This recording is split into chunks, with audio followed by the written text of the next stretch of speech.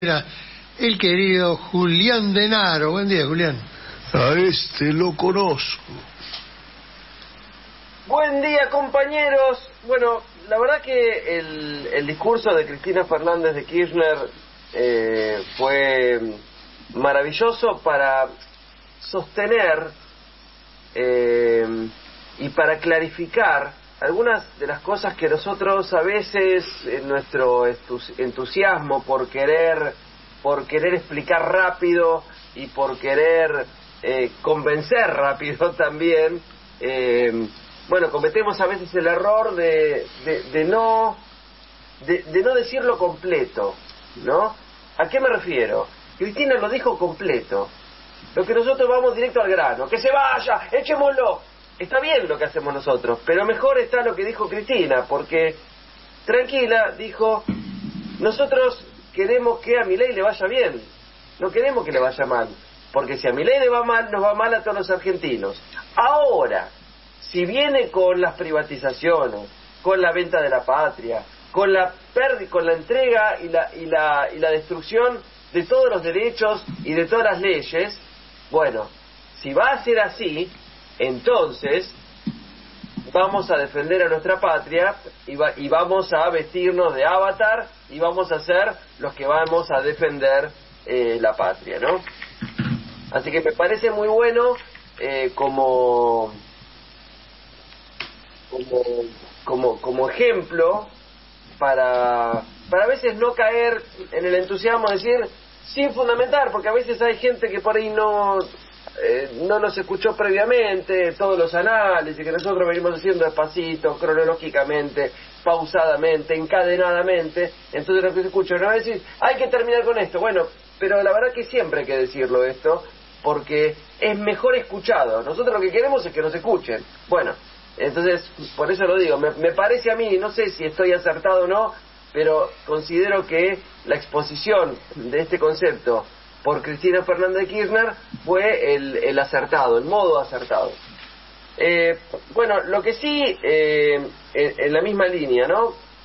De la venta de la patria, eh, una de las cosas que, que yo he venido destacando en esta semana fue la exposición de Eduardo Feynman después de la marcha en favor de la educación pública.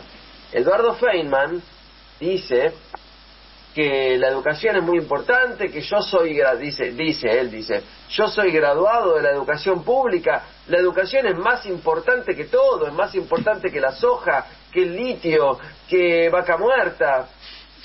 Mirá, Feynman, lo que estás diciendo es que estás en favor de la venta de la patria. No, ahí enganchamos, ¿no? Con lo que dice Cristina eh, y con lo que nosotros siempre venimos diciendo. Eh, si Feynman dice eso, tan livianito de cuerpo, es más importante defender la educación que defender el litio, vaca muerta, la soja. O sea que vos lo que querés, Feynman, es la venta de la patria. ¿Y con qué vamos? ¿Con qué le vamos a pagar a los maestros después? Exactamente, exactamente eso. Ahora, si no tenemos la generación de valor de nuestra producción, eh, si, no, si no contamos con, con exportaciones, con la industria del conocimiento, con la ciencia, con la tecnología, con la industria satelital, con eh, las mejoras en las balanzas eh, eh, comerciales que produce la evolución de la industria energética, ¿cómo vamos a pagar justamente, cómo vamos a financiar la educación? También, en otra de las, de las mentiras, y yéndome un poquito, un poquito de, de lo que decía Feynman, que me parece eh, necesario aclarar, ¿no? Es decir, porque todo es importante. Nosotros necesitamos toda esa financiación para garantizar la educación pública, libre, gratuita y de calidad. Eh, pero para, para continuar un poquitito con, con ese tema de, de la financiación, también nosotros recordamos que siempre nosotros vinimos, vinimos diciendo, ojo con el tema de, quien, de los que dicen que van a bajar los impuestos, porque siempre pasa, como pasó con mucha eh, claridad y evidencia con el gobierno de Menem, y ahora de nuevo con, con Milei, que nosotros le habíamos dicho, mirá que Milei va a hacer exactamente lo mismo que Menem, le va a bajar los impuestos, se le va a sacar los impuestos a las bases imponibles altas, a las corporaciones transnacionales, al poder económico y toda esa necesidad de financiación, ¿quién la va a cubrir? ¿Quién la va a cubrir si los ricos no pagan los impuestos? El conjunto del pueblo argentino. Entonces, y es lo mismo, bueno, ahora resulta que, por ejemplo, eh, esto lo venimos insistiendo porque no me parece no me parece bueno decirlo una vez y después olvidarlo. Por ejemplo, la exención impositiva con eh, Galperín, el dueño de Mercado Libre, es de 100 millones de dólares y Cristina también lo volvió a tomar esto. Con esto alcanza, alcanza para financiar toda la universidad eh, pública, ¿no es cierto? Entonces, bueno, me parece, me parece muy importante destacarlo y también, bueno, el gobierno que dice que ahora subió el 70% de la financiación de los gastos de funcionamiento. El gasto de funcionamiento es en menos del 10% de la financiación total de la universidad, que no incluye, que no incluye, sí, paga la luz, buenísimo, pero no incluye los salarios docentes, los salarios no docentes, no incluye toda la estructura que, incluye también, eh, que incluye investigación, que incluye el desarrollo de la ciencia, que incluye a los hospitales. Bueno, entonces, eh, es una, la verdad que estos tipos proceden a, tomarle el pelo a la gente, anclado en un sentimiento antiperonista que todavía, eh, lamentablemente, no conseguimos, no conseguimos, eh, ¿cómo se diría? No conseguimos erradicar.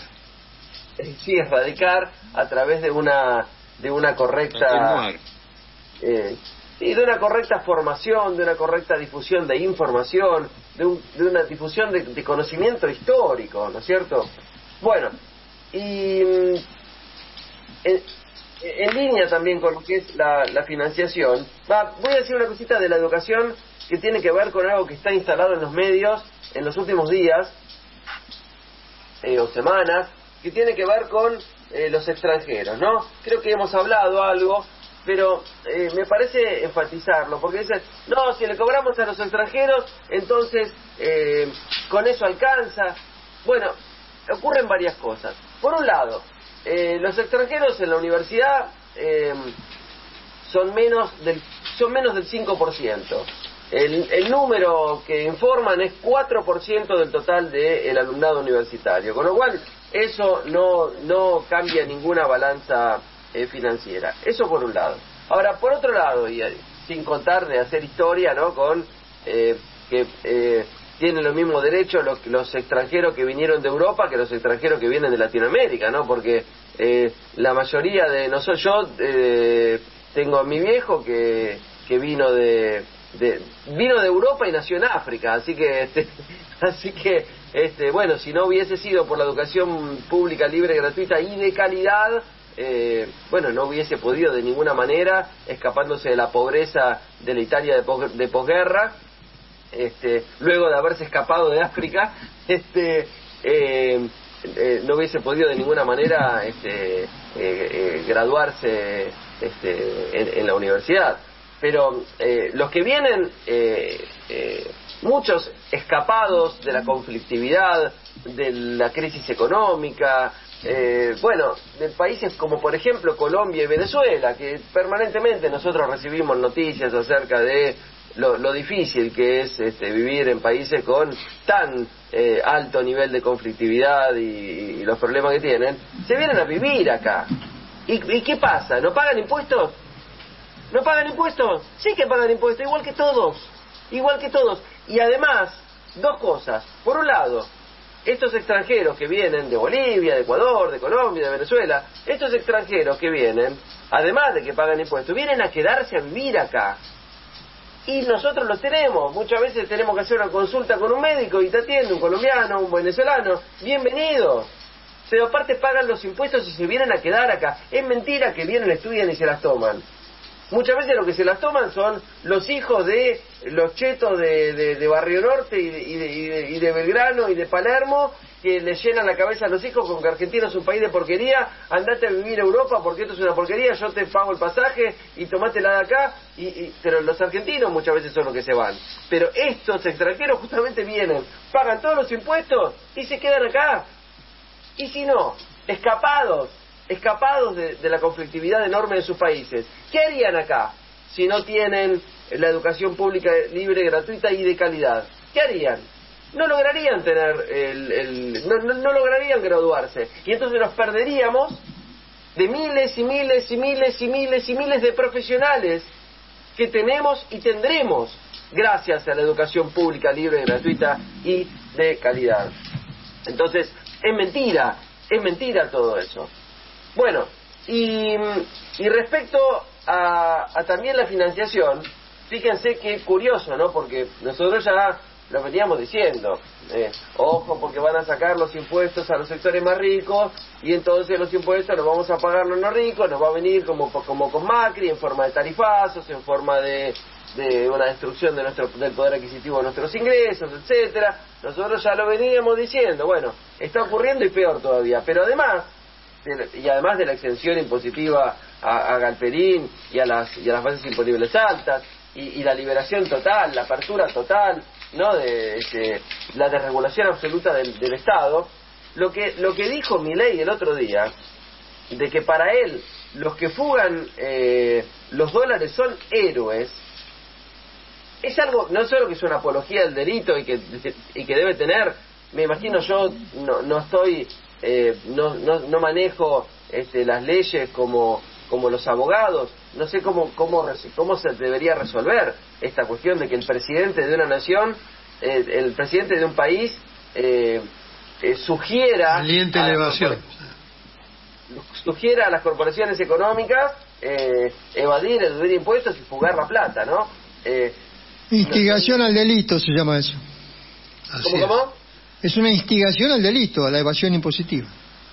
Exactamente. Bueno, eh, eso debe tener un, un, correlato legal, ¿no? Pero fíjense ustedes, porque eh, ya que habla tanto, hay una, hasta una contradicción interna, ¿no? Eh, en, en, el enunciado, porque eh, habla permanentemente del tema fiscal, de que el déficit fiscal es el mal, es el peor de los males, y etcétera.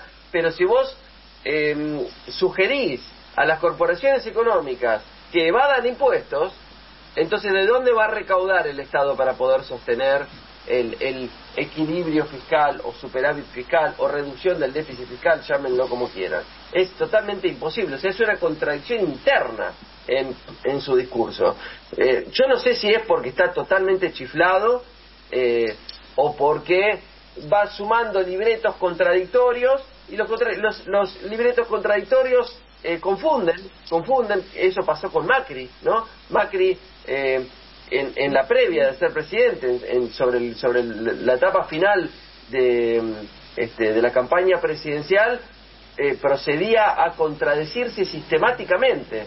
O sea, dejó de decir, yo cuando sea presidente voy a querer privatizar línea, voy a querer privatizar el IPF, voy a privatizar el fútbol. Se empezó a contradecir sistemáticamente y eso generó confusión en, en una buena parte de los votantes, que los terminaron votando lamentablemente. Bueno, yo no sé si es una planificación de contradecirse para confundir o que está chiflado o las dos cosas, ¿no?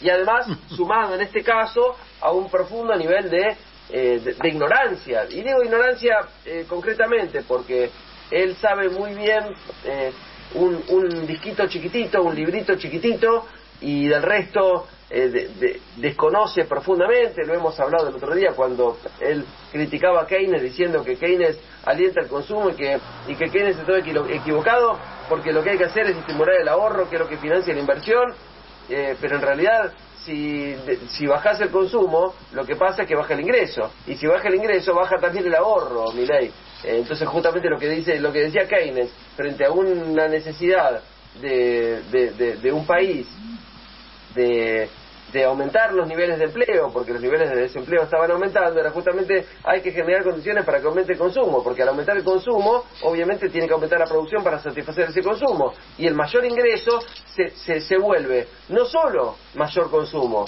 sino que además se vuelve mayor ahorro, a mayor ingreso, mayor consumo y mayor ahorro, o sea que aumenta la financiación de la inversión, pero también mejoran las expectativas para la inversión. ¿Quién va a invertir en un país que está deprimido y que no tiene consumo y que nadie tiene un mango.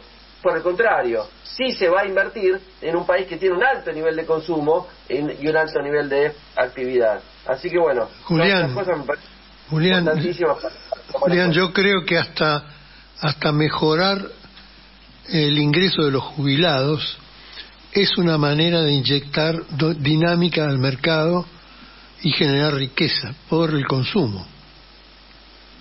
Claro, porque además hay un, hay un, hay un, ya que estábamos con Keynes, ¿no? Hay algo que se llama propensión marginal a consumir, ¿no? Que es el porcentaje del ingreso que se utiliza para el consumo, ¿no? En esta dicotomía eh, eh, primaria, ¿no? Entre que el ingreso se puede usar para consumir o para ahorrar.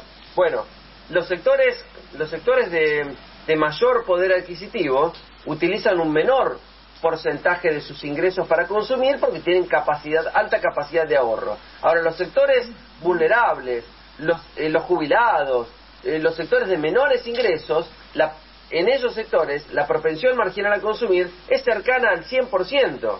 Entonces, cada peso que se pone en los bolsillos de un jubilado o en, o en los bolsillos de un pobre, eso se gasta en el consumo y además se gasta acá no se lo gastan en, en, un fin de semana largo en Miami, como yo me acuerdo que, que, que, escuchaba en, en, cuando daba clase en la Universidad de Belgrano, ¿eh? que yo me quedaba callado y se ponían, eh, mientras yo daba clase, me quedaba callado un ratito y se ponían a hablar de cómo iban a irse el fin de semana largo a Miami. Bueno, el, el jubilado, el, el, pobre, no, no lo va, lo va a gastar el 100% de su ingreso y acá. Entonces el efecto multiplicador del cual estamos hablando, que es lo que reactiva la actividad, eh, la, masa de, de, ingresos de la clase trabajadora argentina es la que impulsa el, nivel de actividad. Ese es el, el, verdadero consumo, es lo que impulsa el nivel de actividad y todos los efectos eh, multiplicadores y expansivos que tiene, que puede tener y que puede